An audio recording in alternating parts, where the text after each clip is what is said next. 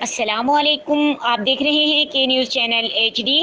خبر شامل کرتے ہیں ساہیوال سے۔ ساہیوال سے ہمارے نمائندہ خصوصی سید وجاہت علی شاہ کی رپورٹ کے مطابق رانا محمد افضال خان کی رہائش گاہ فرید ٹاؤن میں سلام یا حسین مجلس کا اہتمام کیا گیا، جس میں خصوصی خطاب مولانا غلام مصطفیٰ علوی صاحب نے کیا، جنہوں نے مجلس میں حسین علیہ السلام اور کربلا کے واقعے کو بہترین طریقے سے پیش کیا۔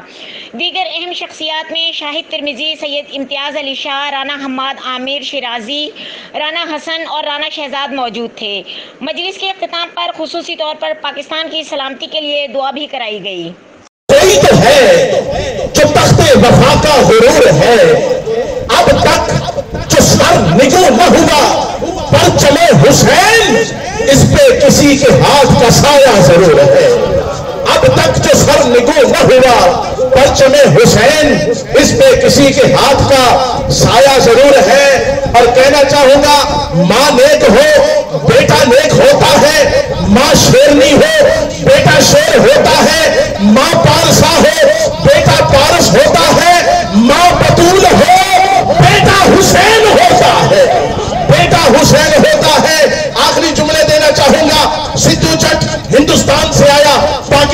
میں آ کے ملا آرمی چیف کو اور کہنے لگا ست سری اکال۔ پرائم منسٹر سے ملا ست سری اکال۔ وزیر داخلہ سے ملا ست سری اکال۔ کسی نے کہا، جج صاحب، جس سے بھی ملتے ہو ست سری اکال کہتے ہو۔ کبھی کسی کو سلام بھی کرتے ہو۔ آگے سے بڑا خوبصورت جواب ملا۔ اور جو حسینی بیٹھا ہے، اس کا سینہ ٹھنڈا ہو جائے گا۔ اس نے کہا، جس سے گرنتھ پڑے ست سری اکال، استاد مل جائے ست سری اکال۔